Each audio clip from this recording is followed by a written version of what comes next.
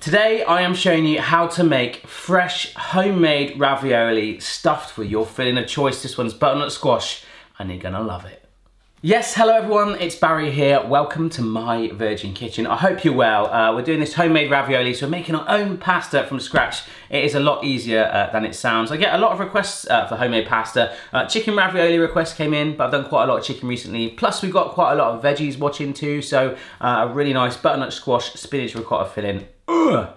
Let's do it. Homemade pasta, so you can do this step uh, in a food processor if you want, just chuck the flour and the eggs together, but we're gonna do it on our countertop. Wedding ring's coming off. So this is um, 300 grams of zero zero grade flour. That's like double secret agent, isn't it? Double O flour. Oh no! Oh, I just dropped one of my eggs. I put that egg in the middle there. It's kind of like making a fried egg on your countertop. Make sure it's clean. Other egg. There we go, it's all clean. Might as well use it, right? So Mrs. Barry's filming for the vlog, by the way, if you're wondering uh, what's going on. Uh, so we're just gonna use a spoon uh, to lift that flour just initially, but you are gonna have to get your hands in there, which is why the food processor method, you know, or, or a mixing bowl, but I like to really knead it together, which we're gonna do uh, in just a jiffy. Let's get our hands in there. This is nice. So just try and bring it all the flour together first of all, so that you don't get all like random bits spraying out. And it is actually starting, you can feel it in your hands. I feel it in my fingers. So do keep getting it in a little bit of flour if you need, but it will be a little tougher uh, than standard bread dough, but you just wanna get it as smooth as you can. As you get towards the end, any sort of niggly bits that are just not sticking to it, you just brush those to one side and give it one final push.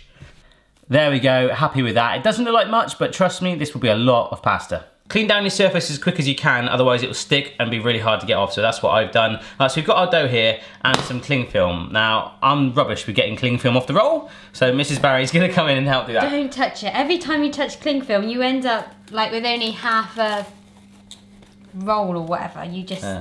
you can never get a straight bit. Thanks, mate. You're welcome. So, cling film over the pasta, just roll it all around like that. Doesn't really matter if you double bag it whatever you call it, just make sure it's completely covered. And now we put it in our fridge for half an hour. So it's in the fridge and that is the pasta made. Apart from rolling out, congratulations, you've just made pasta. Now let's work on our filling. All right. Here's a butternut squash. So all we're gonna do is uh, take the nipply bit off the top and then just peel the skin off. Alrighty, so we want to scoop this flesh out of the bum of it. it's very soft, so it does come out, so you get all the seeds out of it. There we go, so it kind of looks like a big old microphone. Uh, so we're just gonna have it, have it again, have it again, okay? So you've got them around about this thickness, and then we just go into chunks. These cubes will be too big for our ravioli, but what we wanna do is get them this size so they'll just cook a little quicker in the oven. Butternut squash, drizzling in it olive oil, good grind of black pepper, salt on top as well, and a shaken nutmeg, just to give it a bit of an autumnal vibe. The weather's changing, guys, it's getting cold again. I missed the summer already. And then we're gonna put this in the oven to roast and caramelize up. It's gonna add so much flavor to this ravioli. All right, so this is our medium frying pan. We're just gonna warm it up. There's no oil in there at the moment, okay? And what we're gonna do is just tip in our pine nuts. Ugh. Get those in here. These are just pine nuts that you get in the supermarket because we're gonna toast these up. And for some reason, that noise has summoned the pugs.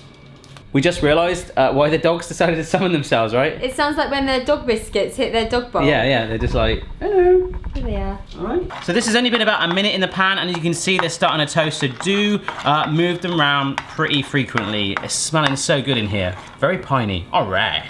Like one of those car air fresheners. The whole filling is optional, so if you don't like nuts, do not put nuts in it. So they're toasted. Just gonna push those into a ramekin, putting our pan back on there, and I'm just gonna dump in, boom, woohoo, a handful of spinach. There's no oil in it again. The pan's already hot, so it'll wilt and shrivel up. Popeye would be proud. There we go, so 90 seconds later, it's all shriveled up. Don't worry about the stalks on there either, because it's all gonna get whizzed together. So we'll just push that. Again, just to chill out and cool down. We're gonna use this pan one more time for our mushrooms. All right, teeny bit of oil going in the pan this time, and the mushrooms are not going in the ravioli, but they could. This is just a nice to serve alongside, and we're making advantage uh, of the heat in this pan already. So we're just gonna fry up uh, these chestnut mushrooms, soften them up really nice alongside it. There we go, mushrooms out of the pan to be drained on some kitchen towel, and we'll use them to finish the dish. Straight from the oven, our butternut squash, lovely and charred, smelling amazing with that nutmeg. All right, so in goes our butternut squash. I'm only using half of that squash, by the way. Uh, the rest I'm gonna have for lunch. Uh, use a full squash if you're gonna make a lot of ravioli, but half is fine. Uh, wilted spinach, and then the pine nuts. So these are toasted, uh, about a tablespoon as I say. So much flavour in this bowl, let's whiz it together. And there we go, looking rather stonking indeed. So, spooning that filling into a big old bowl. So I'm just gonna put in about two tablespoons-ish, just wing it. Maybe about half a tub in total of ricotta cheese, but of course uh, you could mix this up. You could use feta cheese if you like as well, or cottage cheese.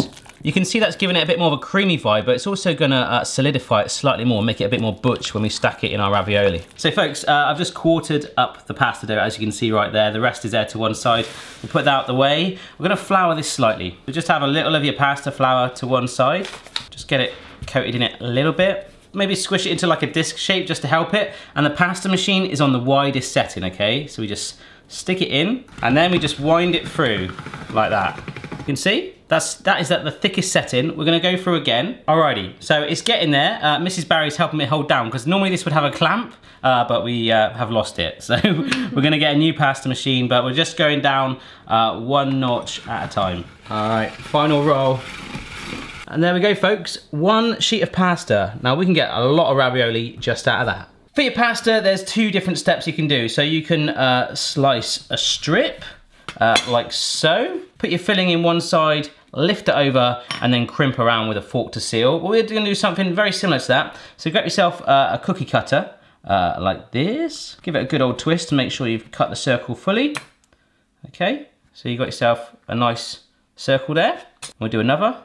All right, so we're just gonna get a teaspoon of our filling in the middle, heap it up like that.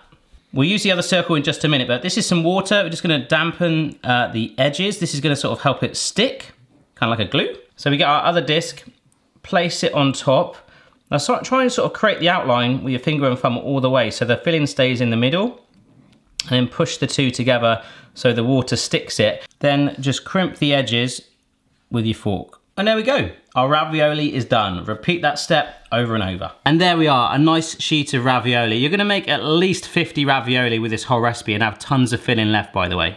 Mrs. Barry actually helped me with some of those steps, didn't you? I did. Um, the great thing about this being fresh pasta is it's going to cook in about three or four minutes. Get the pan of water up to a steady simmer, okay? Um, if you do it too over bubbly, the ravioli will just, it will it'll just out. split. Mhm. Yeah. So we're just bringing that down to a nice steady simmer. Let's get the ravioli in there. Just gonna place them in one at a time.